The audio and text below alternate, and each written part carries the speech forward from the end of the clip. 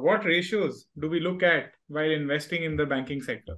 First thing that we tend to look at is the net interest income, which is essentially the amount of money the bank has earned uh, via interest, uh, via the route of interest on all the loans that they have lent out minus any interest expense that they have incurred uh, via FDs and S, uh, SBs and RDs, right? In addition, there is other income that the bank tends to earn. This is the this might be investment income, this might be uh, forex income, uh, this might be uh, you know fees that the bank has earned and all the likes. So these are two things that we tend to look at. This is not a ratio per se, but it helps us understand uh, where the bank is earning its money from.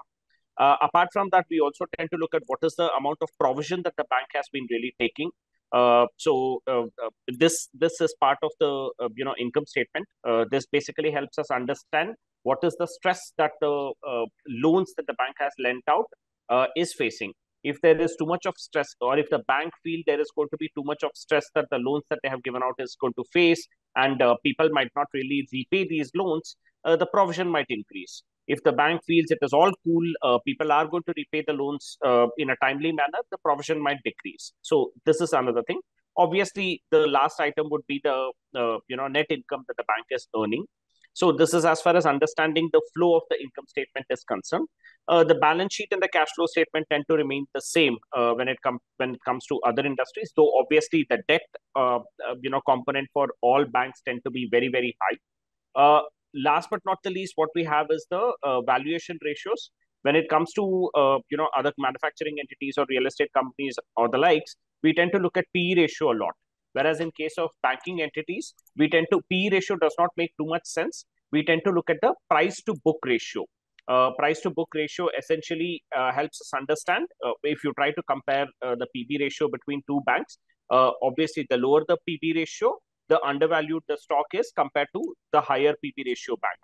Uh, what a P, PB ratio or a price to book ratio does is it offers a perspective of how the company is utilizing the funds, which is more important when it com- as compared to uh, what is happening vis-a-vis the earnings of the bank. Uh, so a company which is obviously utilizing its funds very well uh, is uh, is is better compared to a bank that is not utilizing its companies very well obviously. So which is why the P, pb ratio comes into picture.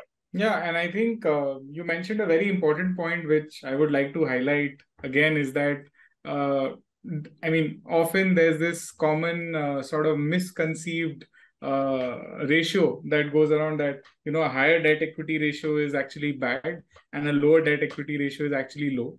But the whole construct of a bank is in such a way that it sort of shows the ability that okay if you have 10 rupees in equity how much are you levering up?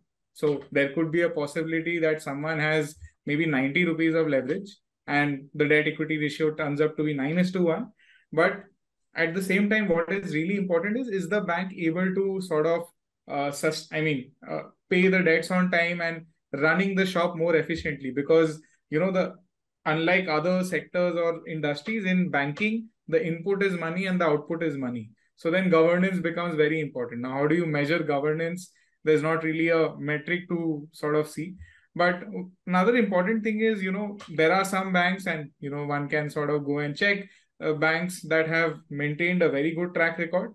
Investors are willing to pay a premium to buy those banks which is why their price to book ratios have historically remained very high Whereas, let's say banks which have had not a great track record and they have been patchy in earnings, and you know there have been NPA blowups where, uh, let's say, the loans went bad.